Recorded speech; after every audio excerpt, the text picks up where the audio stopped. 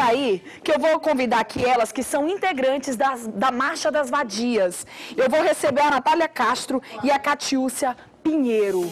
Olá, meninas. Prepara. Tudo bem? Boa tarde. Boa tarde, seja bem-vinda. Tudo bem? Boa tarde. Podem sentar aqui.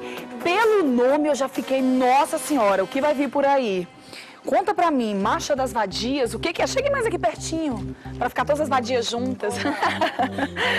Por que esse nome tão original, Marcha das Vadias? De onde que tudo começou, antes de mais nada? Bem, boa tarde, né? Boa tarde. É, o movimento Marcha das Vadias, ele teve início no Canadá é, com, com uma ação é, violenta por parte da polícia, criminalizando uma jovem que foi estuprada porque ela estava vestindo roupas curtas. Ele culpabilizou a vítima, dizendo que ela merecia ter sido estuprada, porque afinal ela estava usando roupa de vadia. Nesse momento, a partir de então, as feministas se organizaram né, e lançaram o primeiro evento do Marcha das Vadias, na realidade com o objetivo de ressignificar o termo vadia, porque se a mulher ela tem que estar tá, é, vestindo uma roupa. Uma burca, né? É, uma burca. ou mesmo assim, ela pode estar vestindo uma burca, ela pode estar vestindo uma saia curta. Ela tem que ter essa liberdade de usar a roupa que ela quiser e não ter que ser culpabilizada por qualquer violência que ela sofra. Então, a partir disso, a gente utiliza o tema, né? Se ser livre é ser vadia, então somos todas vadias. E todas vamos à rua marchar por um mundo sem violência contra a mulher. Olha, isso aconteceu no Canadá, né? Mas a gente transpondo isso a nível de Brasil se enquadra perfeitamente bem. Né? Essa sociedade machista que ainda assim, por exemplo, como no caso de uma vítima de um estupro, ainda assim ela é condenada porque ela ocasionou aquilo ali, ela foi a incentivadora daquele ato. A nível de Brasil, a gente também ainda está aí nessa ignorância do machismo? Sim, sim. A gente observa muito claramente uma dupla moral sexual, né? O comportamento sexual idêntico de um homem e de uma mulher é significado de uma forma diferenciada pela sociedade. Ele é o gatão. Um homem que tem várias namoradas. O garanhão, ele né? é o gatão, o garanhão. Uma mulher que tem uma vida sexual também livre, ela é tida como vadia, ela é tida como safada, como piranha, que são os termos populares. E o que a Marcha das Vadias, dentre outras coisas, dentre outras formas de violência, quer questionar é essa dupla moral hipócrita na sociedade, que divide as mulheres entre as que são putas e as que são santas. Nós não somos nem putas nem santas, somos apenas mulheres. E muito, né? Muito tem que ser feito para que seja desconstruído isso. Além disso, a marcha também pauta, né, o debate sobre outras violências, como a violência que o capitalismo empreende sobre as mulheres, explorando as mulheres nas suas relações de trabalho, como a violência que as instituições jurídicas, escolares empreendem sobre as mulheres e sobre todas as mulheres, mulheres brancas, mulheres negras, mulheres transexuais, né? E a gente sempre tenta lembrar que o machismo, ele nunca está sozinho, ele vem junto com o preconceito de classe, ele vem junto com a homofobia. É então, todas essas lutas tentam ser abarcadas pela Marcha das Vadias. Né? E a gente quer convidar todo mundo para estar tá lá, né? Amanhã, a partir das 14 horas, a concentração no Parquinho na Litorânea. A marcha vai sair do Parquinho em direção à Praça dos Pescadores, é, do Pescador, encontrando lá com o projeto BR-135, finalizando num grande show, né? E estamos aí para dizer que se ser livre, se lutar contra as opressões é ser vadia, então somos todas vadias. vocês, de alguma forma, observam que, apesar de eu ver um discurso muito interessante vindo de vocês, mas pelo nome, vocês sentem um preconceito ainda? Ainda de estar tá ali levantando um nome forte como é o Vadia e as pessoas às vezes nem entender o que, é que o movimento está de fato pregando? Aí você, vocês observam esse olhar ainda um pouco excluso ali de quem está passando ou de quem ouve a, o, a simples divulgação do nome da marcha? Sim, é, é muito forte, né? Não sei se a Natália quer falar sobre isso. Você quer falar, Natália? Ser assim, é muito forte mesmo.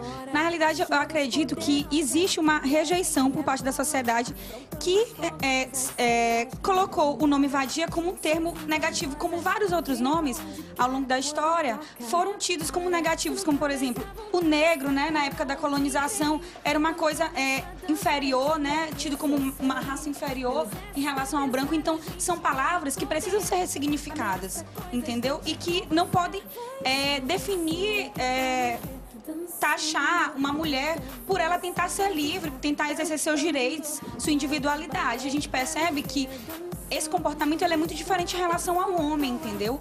Inclusive, é, verificando isso, muitos homens marcham junto com a gente. Ai, Existem muitos homens, inclusive participando da organização, né? E se colocando enquanto homens feministas, porque é uma violência que também, querendo ou não, é claro que não um grau bem maior, oprime a mulher.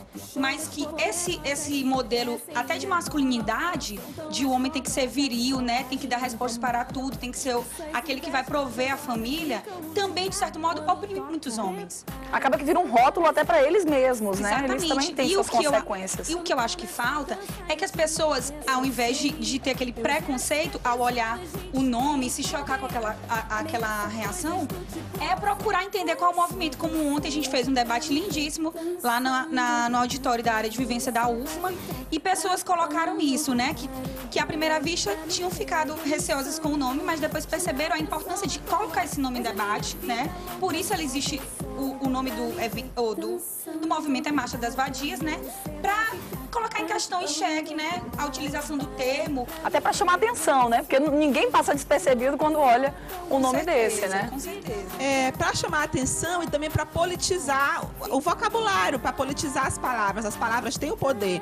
É, vejamos, se as prostitutas forem fazer uma atividade na rua e elas vão dizer o quê? Não, é, nós vamos fazer a, ma a marcha ou a caminhada de quê? É das prostitutas. E aí não pode falar o nome se elas são isso. Então, assim, a gente se reivindica vadia, né? Ressignificando essa palavra e dizendo que a vadiagem, no sentido político que a gente está colocando, é de lutar por essa liberdade, não só pela liberdade dos nossos corpos, mas a liberdade também da nossa vida nas instituições, da, na política, na escola, no trabalho, na vida sexual, na vida amorosa, na vida, é, inclusive, cidadã nossa, né? A autonomia da mulher, Da né? autonomia, que também não é uma autonomia absoluta, que ela só É. vem se ela vier junto com a crítica também ao racismo, né? Às relações de classe, né? À homofobia, tudo junto. A marcha é uma marcha que luta por essa pluralidade de bandeiras. Inclusive, gente, olha, para você aí de casa poder ficar um pouco mais ligado no que a gente está falando, eu tenho aqui dados bem importantes e que eu acho que vai chocar um pouco você aí de casa. A cada dois minutos, cinco mulheres são espancadas no Brasil. E pior, a cada 12 segundos. Tipo assim, ó. Mais ou menos, daqui falta ainda uns 7 segundos.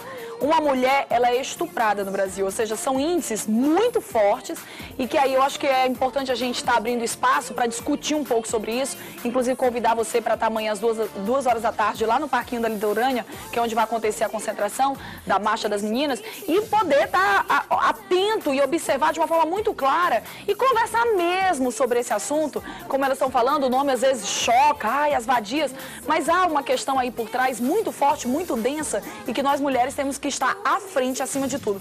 A gente também abre espaço para vocês homens. Agora, meninas, eu fiquei pensando, a gente está num momento no Brasil, né, e também a nível local, onde ma- manifestações acontecem a cada segundo. Não chega a ser 12 segundos, como o índice aqui de estupro de mulher, mas também existem muitas manifestações. Acho que é um momento histórico que o Brasil está vivendo. Vocês não têm medo de perder um pouco a força? Porque todo, todo dia tem um, toda semana tem um. De vocês ser mais um, mais um movimento que está acontecendo aí né, né, dentro desse contingente? Eu acho que não, assim, porque na realidade o movimento, ele não nasceu ao longo dessas manifestações que agora estão ocorrendo no Brasil, mas Até ele aconteceu já no passado, né? já aconteceu ano Eu passado. lembro. Hoje em São Luís É a segunda edição. é a segunda edição, entendeu? Então ele já é um movimento que está se consolidando na capital e no, no Brasil e no mundo, entendeu? Então é, ele não, ele acredito que ele não se abala por conta de de é, Da concorrência, porque tá quase uma concorrência. é, mas na realidade, assim, eu acho que é, essas manifestações não são uma concorrência negativa nesse sentido, pelo contrário. Se, se pessoas estão indo para a rua, é porque elas estão insatisfeitas com alguma coisa que está acontecendo. É a saúde, é a educação, é a moral vigente, é, é todo um tipo de, de situação imposta a nós na sociedade que está levando as pessoas na rua a- insatisfeitas. Então a gente tem que somar, né? Abrir o verbo, né? É, E são, são demandas que se complementam, né? A gente também queria destacar que a Marcha das Vadias não é só o dia da marcha. A marcha faz outras atividades.